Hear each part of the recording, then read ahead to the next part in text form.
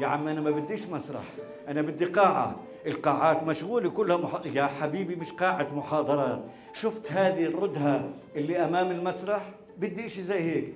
حط لي كراسي على الداير وبس.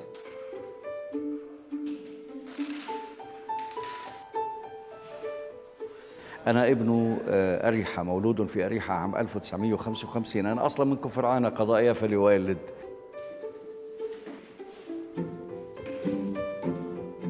وتربيت في حارة البيادر وحارة البيادر حارة شعبية آه، غنية بفنون الأداء الحقيقة. هم لا يعرفون أنها فنون أداء. غنية بأبو أمين وحسن وأبو زكر وأبو زكية أولئك الذين كانوا يحيون الأعراس والليالي الملاح والذين لا يعرفون بريخت ولا يعرفون المسرح الفقير. هؤلاء تعلمت منهم. بأم عيني هو عنوان الكتاب الذي ألفته المحامية التي كانت إسرائيلية فيليتسيا لانجر. فيليتسيا لانجر أهمية هذا الكتاب أنها روت فيه مرافعاتها عن الفلسطينيين الذين كانوا يحاكمون أمام المحاكم العسكرية الإسرائيلية. طبعا هي كسبت بعض القضايا خسرت كثير من القضايا ولكن تلك القضايا جعلتها تنحاز انحيازا كاملا للفلسطينيين وحقهم.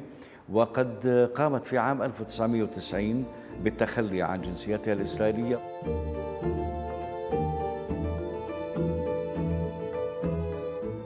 أنا اليوم راح أقدم لكم مسرحية عنوانها بأم عيني 1948 عندما زرت أرضنا التي احتلت عام 1948 أصبحت شاهداً وبالتالي آه، عندما يقول الإنسان لك أنا شاهدت ذلك بأم عيني يصبح شاهدا وليس مشاهدا.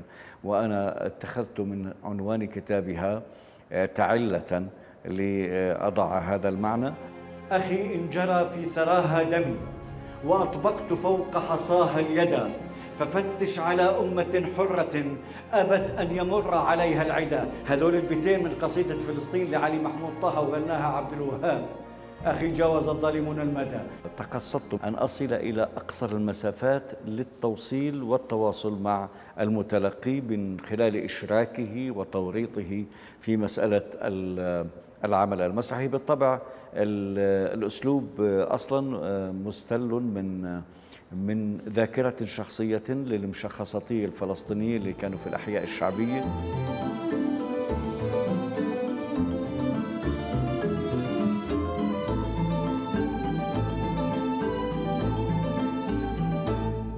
يعني اللي بزرع شجرة في حوش بيته بيكون حرر محل الشجرة من الاحتلال واللي بيعلم أولاده اللهجة والأغاني الشعبية والدلعونة والميجنة بيكون حرر عقولهم من الاحتلال واللي بقعد على شط البحر ساكت في نص الليل وبرمي سنارته في البحر وبيغني بينه وبين حاله. هدي يا بحر هدي ولا ودي سلامي ودي للأرض اللي ربتنا.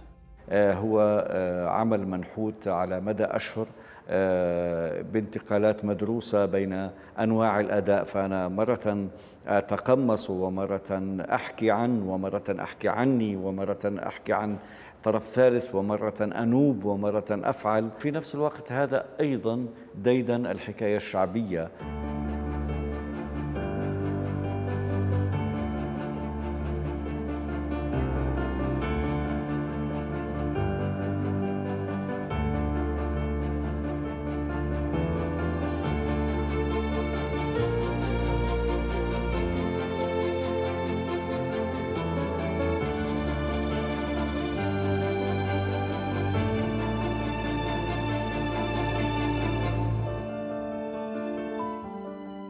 أنا غنام غنام نتاج لكل آه، المفاعلات الثقافية الفلسطينية. أنا نتاج غسان كنفاني نتاج محمود درويش نتاج سميح القاسم توفيق زياد إميل حبيبي راشد حسين. هؤلاء عندما يحضرون في نص لي أو في عرض لي إنما هي معززات وكأنك تذهب إلى أسانيد المعنى الذي تريد أن تذهب إليه. رحنا على باتجاه حيفا في قصيدة لمحمود درويش. بقول فيها وحيفا من هنا بدأت. وأحمد سلم الكرمل وبسملة الندى والزعتر البلدي والمنزل لحنها مرسي الخليفي وبدوا يغنوا فيها.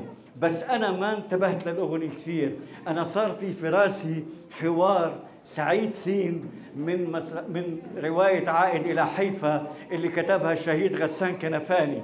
بيستوقفني الحنين بيستوقفني الشوق.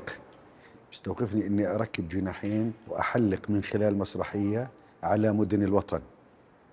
إني أعيشها وأعيش لحظاتها حتى لما وصل عكا سمعت صوت الموج بداني سمعت صوت السنارة لما بترتمى بالمي. سمعت صوت المراكب. عشت المسرحية وكأني أعيش في عكا وفي الناصرة وفي حيفا. نطت بنتي مرة ثانية قالت تشرب القهوة هون ولا تشربها في عكا.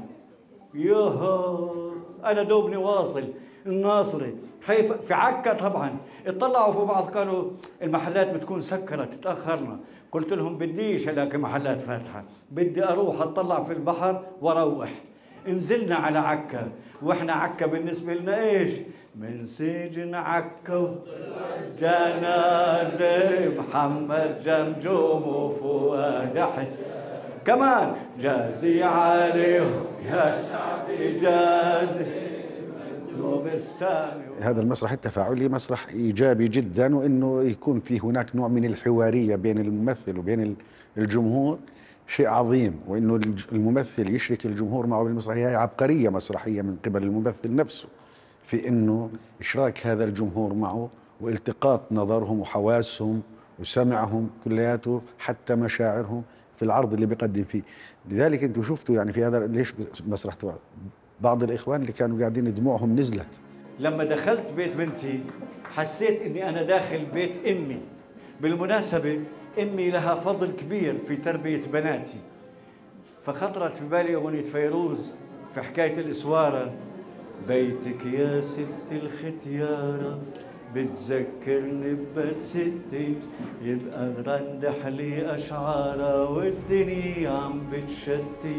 يوكو فرشات وديوان عتق الباب وهالحيطان. دارك متل دارا يا إيفا الختيار قالت لي أنا ختيارة يابا قلت لها ختيارة صبية بس قلبك قلب ختيارة. دائما الأغاني والأمثال والعبارات التي يمكن أن استند عليها في النص في العرض آه، دائما تعزز متانة التقديم تعزز متانة الأداء تعزز متانة التواصل. وبالتالي أنت تداعب ثقافة المتلقي لكن دون النزول في المستوى. أنت ترتقي به وبثقافته لتجعلها ثقافة درامية. ما أصعب أن تغادر وطنك طوعا؟ وأنت الذي هجرت منه قسرا. أنا لا أصوغ عروضي ردة فعل على أحداث. أنا رجل ألتزم بقضية الفلسطينية منذ زمن بعيد وبالتالي كل أعمالي لها علاقة بفلسطين وبأحداثها وبتاريخها. من هنا عندما بدأت الأحداث كان بأم عيني آه، كأنه ابن ساعته لأنه يتحدث عن النضال الفلسطيني اليومي وعن الحق الفلسطيني اليومي عبئوا طلقة الإجابة في مسدس السؤال وأطلقوها في أي اتجاه أردتم. وشكرا لحضوركم